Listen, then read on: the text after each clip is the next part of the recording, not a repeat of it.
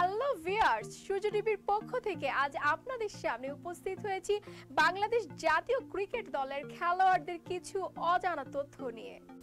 Cricket নিয়ে বাংলাদেশের মানুষের বিশেষ করে তরুণ প্রজন্মের আগ্রহে শেষ নেই। তাই ক্রিকেটাররা কে কি করেন, কি খেতে পছন্দ করেন, কার পারিবারিক জীবন কেমন ইত্যাদি নিয়ে আলোচনা অনেক। তবে ক্রিকেটারদের কার বেতন কত জানেন কি? চলুন জেনে নিই ক্রিকেটারদের কার বেতন কত? কি কি বোনাস পান তারা?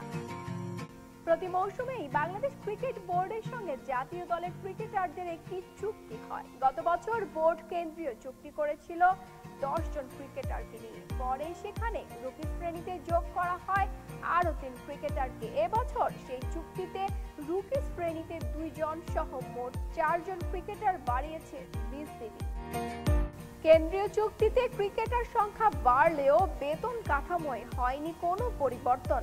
আগের বছরের মতো এবারও এ প্লাস ক্যাটাগরিতে অন্তর্ভুক্ত মাশরাফি বিন মর্তজা, সাকিব আল হাসান, তামিম ইকবাল, মুশফিকুর রহিম মাহমুদুল্লাহ পান মাসিক চার লাখ টাকা করে।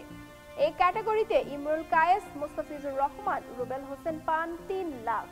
বি ক্যাটাগরিতে মুমিনুল হক, লিটন দাস, মেহেদি হাসান মিরাজ, তাইজুল ইসলাম পান দুই লাখ টাকা করে। এবং রুকি ক্যাটাগরিতে আবু হায়দার রনি, আবু জায়েদ, মোহাম্মদ সাইফুদ্দিন নাইম হাসান, খালেদ আহমেদের সম্মানিনী এক লাখ টাকা করে। অবশ্যই বেতন ক্রিকেটারদের প্রাপ্তি শেষ নয়। এর পাশাপাশি ক্রিকেটাররা ম্যাচ ফি পেয়ে থাকেন। প্রতি টেস্টের ম্যাচ ফি সাড়ে তিন লাখ, প্রতি ওয়ানডের ম্যাচ ফি দুই লাখ এবং টি টোয়েন্টির ম্যাচ ফি এক লাখ পঁচিশ হাজার টাকা। এছাড়া প্রথম শ্রেণির ম্যাচ খেলার জন্য ক্রিকেটাররা পান পঁয়ত্রিশ হাজার টাকার মতো। এর বাইরে ক্রিকেটারদের আয়ের মধ্যে আছে বিপিএল বা ঢাকা প্রিমিয়ার লিগের মতো টুর্নামেন্টে বিভিন্ন দলের হয়ে খেলা থেকে পাওয়া আয়।